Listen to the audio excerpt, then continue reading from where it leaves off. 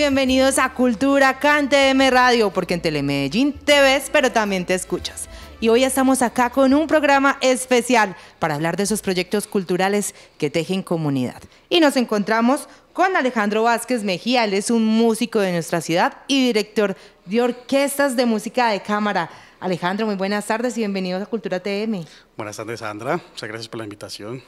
Bueno, Alejandro, fue citado el día de hoy para hablar de un proyecto muy especial que en este momento están haciendo, pero antes de hablar de ese proyecto, les cuento que ustedes escuchaban la Filarmónica en Verachamí. Sí, señores, la primera Filarmónica eh, indígena de nuestra, de nuestra Colombia, de nuestro país, pero ya también vamos a hablar enseguida de esto. Alejandro, también él es director de la Filarmónica Metropolitana de Medellín. Sí, así es. Eh, la Filarmónica Metropolitana, la Filarmónica en Verachamí y varias escuelas de música hacen parte de nuestra Corporación Cultural Pasión y Corazón, una organización social que busca crear, desarrollar y fortalecer escuelas de música y filarmónicas en América Latina. Bueno, y contémosle a la gente eso, ¿cómo así? Primero, Filarmónica Metropolitana y ahí se entremezclan otras orquestas de cámara. Contémosle a la gente, primero que todo, ¿qué es la Fundación Pasión y Corazón?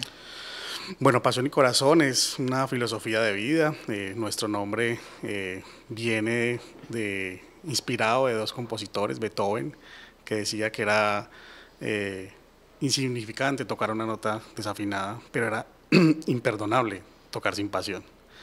Y luego Mozart decía que la verdadera alma del genio era el amor con que hacía las cosas. Entonces empezamos haciendo música con mucha pasión, con mucho amor, y le pusimos a nuestra organización Pasión y Corazón. Y bueno, a partir de ahí, eh, más o menos con 12 años, eh, de trabajo, eh, seis años como organización social, pues bueno, nos dimos a la tarea a que muchas personas, a que muchos niños y jóvenes de los territorios de Antioquia eh, y del país pues tuvieran acceso a la formación musical y orquestal. Bueno, ustedes nacieron inicialmente con la Filarmónica Metropolitana, contémosle a la gente un poquito qué es la Filarmónica Metropolitana, porque la gente conoce eh, de pronto algunas orquestas de la ciudad, como la Filarmónica de Medellín, como la Sinfónica de APID, pero también hay una metropolitana. Bueno, la Filarmónica Metropolitana sí es una nueva orquesta ya no tan nueva, cuatro años en la ciudad de Medellín y en el Valle de Aburrá, y pues bueno, eh, abarca a muchos jóvenes estudiantes de música de las diferentes universidades. Eh, realmente tenemos un gran proyecto social que es la Red de Escuelas de Música de Medellín, donde salen muchos eh, jóvenes que quieren ser músicos, seguir en la música y pues bueno, aún estando en la universidad no encuentran otra orquesta donde tocar. Esta orquesta nació por, por una necesidad que tiene la ciudad y el Valle de Aburrá y pues bueno, también otras personas que aunque se dediquen a otras carreras después de salir de la red, pues tienen un muy buen nivel musical y quieren seguir perteneciendo a una orquesta. Entonces, eh, la Filarmónica Metropolitana es una orquesta, la orquesta de todos, eh, es una orquesta donde todo el que quiera seguir haciendo música sinfónica en la ciudad, pues tiene su espacio. Y bueno, además también como poner un punto de, de, diferencia con las otras orquestas y es hacer un poquito de montajes innovadores y cosas nuevas para que también acerquemos el mundo sinfónico a toda la comunidad. Se puede decir entonces que la orquesta, eh, la Filarmónica Metropolitana, eh, se convierte como en una oportunidad para iniciar también en esta música de, de, la orquesta de música de cámara. Hay que contarle a nuestros televidentes que esta es una carrera o una profesión de mucha exigencia, donde las personas tienen que formarse durante muchos años. Entonces se puede decir que es una oportunidad para iniciar. Creo que no, para continuar. Para continuar. Más para continuar. Básicamente es una necesidad que, culturalmente la ciudad tenía, es una nueva orquesta, más orquestas, porque como te dije, pues muchas personas a los 22, 23 años con la carrera de música u otras carreras, pues tienen muy buen nivel musical para pertenecer a una orquesta sinfónica y pues ya no pueden seguir, ¿cierto? Porque cumplen su ciclo en este programa social de la Alcaldía de Medellín. Entonces, pues es un espacio que hacía falta entre esas orquestas y esas escuelas de iniciación musical en todos los barrios y luego las orquestas profesionales de la ciudad. Hay un hueco que pues vino Pasión y Corazón con la Filarmónica Metropolitana a cubrir. Bueno, tú vienes justamente de, de esa red de escuelas de música y después estudiaste música en Antioquia también ¿Y cómo es ese proceso de decir que hoy en día eres un director de orquesta, por así decirlo? Bueno, yo salgo de la red de escuelas de música, también estoy un tiempo fue en EAFIT, eh, y bueno, y luego con otros maestros pues que he tenido la oportunidad de tener en el camino. Y bueno, para mí básicamente Pasión y Corazón es una forma de agradecerle a la vida por esa oportunidad que me dio la red de escuelas de música, de llevar la música sinfónica a mi barrio, de tener la oportunidad de poder tener un violín en mis manos, que económicamente era muy complicado en los noventas. Eh, y pues bueno, creo que a partir de ahí fui profe de la red muchísimos años también y, lo que quise fue como expandir esa oportunidad que tuvimos los jóvenes en Medellín para que otras personas del territorio antioqueño y del país y de Latinoamérica pues también eh, tuvieran esa oportunidad de acercarse a la música sinfónica. Bueno Alejandro, hay algo muy importante para destacar y es que después de haber nacido la Filarmónica Metropolitana, tú te diste la tarea de empezar a crear otras orquestas pequeñas, de pronto con personas que nunca habían tenido el acceso eh, a un violín, contémosle un poquito a la gente esta historia y cómo de allí nace la Filarmónica en Verachamí, que es un proyecto joven aún, pero que ya empieza eh, a ser nombrado también a nivel nacional. Sí, bueno, entonces en, esta, en este deseo de, expandir eh, la oportunidad de que la música sinfónica sea asequible para todo el mundo, pues me sumo como voluntario a una fundación que se llamó Música para la Paz, ya no existe, pero que hacía un trabajo muy bonito en el resguardo indígena Marcelino Tascón, en Valparaíso, Antioquia fue más o menos un año y medio siendo voluntario, eh, acercándome a la comunidad, conociéndolos, caminando, aprendiendo de ellos. Y pues bueno, tanto a la comunidad en Verachamí de este resguardo como a la Fundación Música para la Paz en su momento, les presento el proyecto entonces, después de ese año y medio de ir, de que creáramos la primera filarmónica indígena de Colombia, la Filarmónica en Verachamí. Entonces, pues bueno, fue algo muy bello, muy bonito, porque pues le dimos la oportunidad a, estos niños y jóvenes de que eh, encontraran otra alternativa de vida, pero enfocado en poder eh, revitalizar y rescatar la música medicina y la música en Verachamí. Eso quiere decir que esos niños nunca habían tenido el acceso a un instrumento de música de cámara y ese proceso con ellos inició desde el principio. Desde cero empezaron a enseñarles violín, violonchelo, contrabajo. Sí, eh, de pronto habían tenido más acceso a una guitarra, a una organeta, ¿cierto? En sus clases de iniciación musical eh, que tenían con Fundación Música para la Paz, pero ya cuando llegó Pasión y Corazón, pues bueno, fue la primera vez que vieron un violín, un violonchelo, una viola. Eh, por lo menos en, clases de historia vieron un contrabajo, todavía no tenemos contrabajo en la comunidad, eh, pero bueno, sí, conocer esos instrumentos de, de la cuerda frotada fue algo muy bello porque muchos eh, se enamoraron inmediatamente, algunos por el tamaño, otros por el sonido, otros por las clases de apreciación musical que habíamos dado. Entonces ya sabían cómo sonaban y escogieron inmediatamente ese instrumento que ya definitivamente abrazan y que no quieren soltar. Bueno, hay una canción muy bella, es Daishami. Dachiname. Dachiname. Contémosle un poquito a la gente cómo nace Dachiname, de qué se trata. Eh, y tengo entendido que es la primera canción en este lenguaje y todo? Pues bueno, es, una, es un trabajo de composición muy bonito con la Fundación Música para la Paz, con la cantautora Raquel, eh, una cantautora paisa que es quien eh, tuvo la idea de hacer la Fundación Música para la Paz, que sigue siendo un apoyo primordial para los proyectos de Pasión y Corazón. Y pues bueno, en un trabajo de composición, de que ellos eh, contaran un poco sus cuentos de origen, sus historias tradicionales, pues crearon esta canción y luego nosotros desde Pasión y Corazón, pues además les pusimos la música sinfónica. Bueno, vamos a escuchar esta canción un momentico porque ya seguida vamos a hablar también un poquito de su historia, como así, de qué se trata, qué es lo que ellos quieren expresar ahí. Dashinam.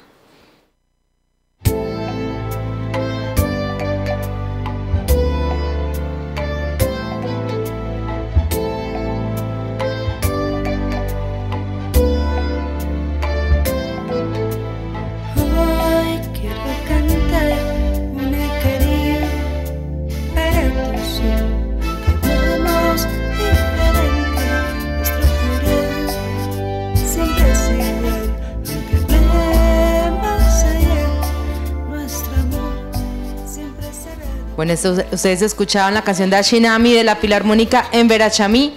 Y contémosle un poquito a la gente qué expresa esta canción.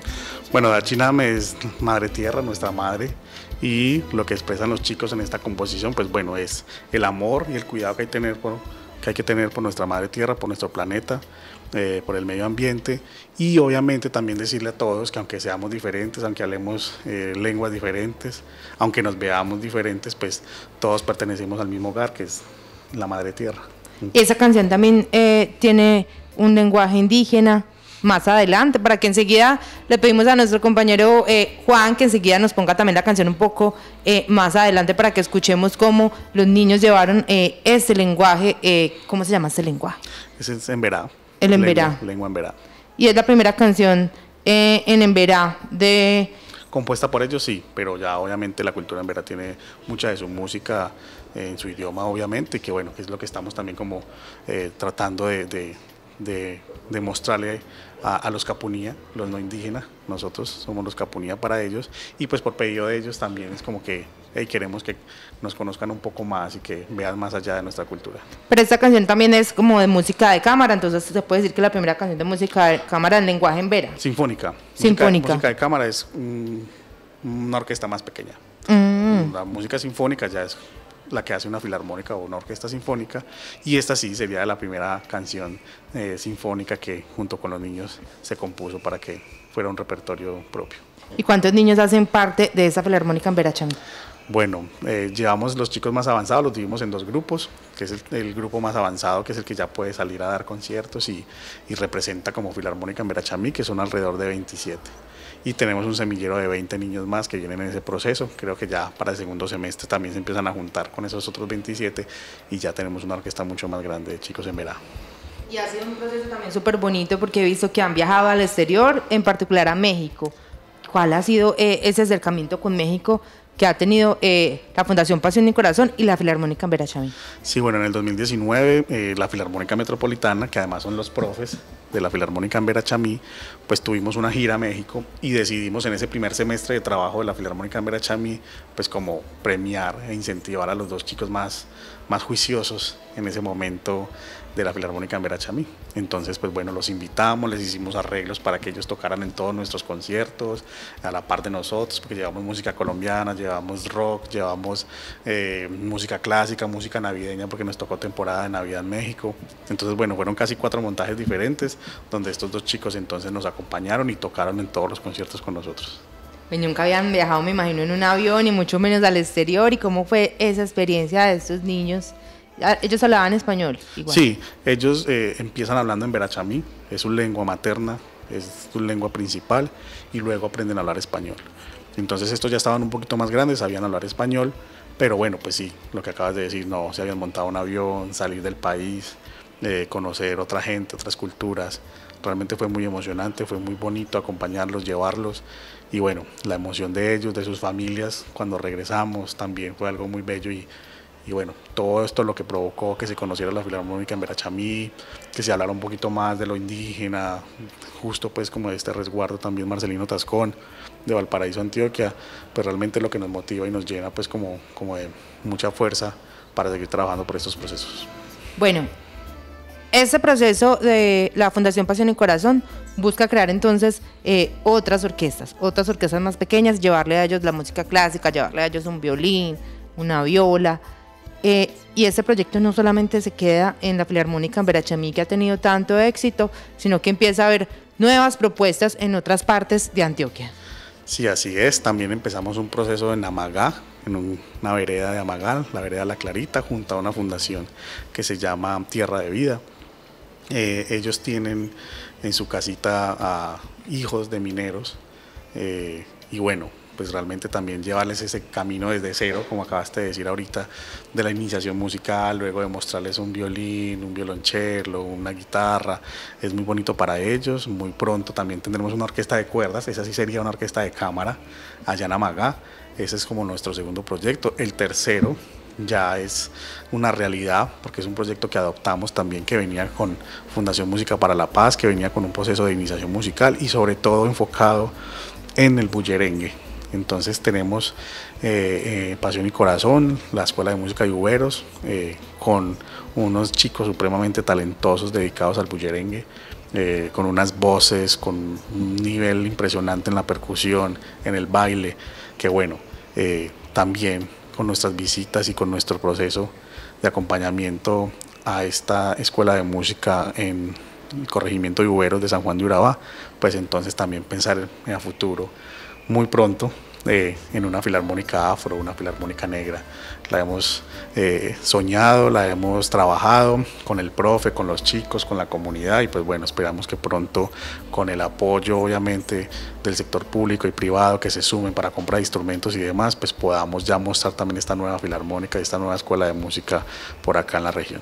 Esas son las propuestas artísticas de Medellín que buscan construir a través del talento, a través de la música. Hoy con Alejandro, que nos viene a mostrar cómo desde cero se crean las orquestas, cómo desde cero se crea una orquesta de música clásica en Medellín y en Antioquia, y cómo las oportunidades musicales llegan a todos los rincones de nuestra ciudad. Alejandro, muchas gracias por acompañarnos acá en Cultura TM. Para terminar rápidamente, ¿dónde sigue la gente? En redes sociales, la Fundación Pasión y Corazón la Filarmónica Metropolitana y sobre todo la Fundación Pasión y Corazón para conocer todos estos proyectos. Bueno, no, Sandra, muchas gracias por la invitación a todos los televidentes. Bueno, que nos sigan muchísimo. Arroba Pasión y Corazón ORG en Instagram, Pasión y Corazón en Facebook y Twitter. Y bueno, ahí encontrarán todas nuestras orquestas, Filarmónica Metropolitana, Filarmónica Merachamí, Filarmónica Binacional y nuestras escuelas de música en Amagá, en Uberos y muy pronto también en La Guajira. Bueno, también estas músicas y estas historias locales que crean comunidad para Colombia y para preservar también las tradiciones a través de los sonidos. Y por hoy los dejamos en Cultura TM Radio, pero escuchando esta canción Dai Chinami.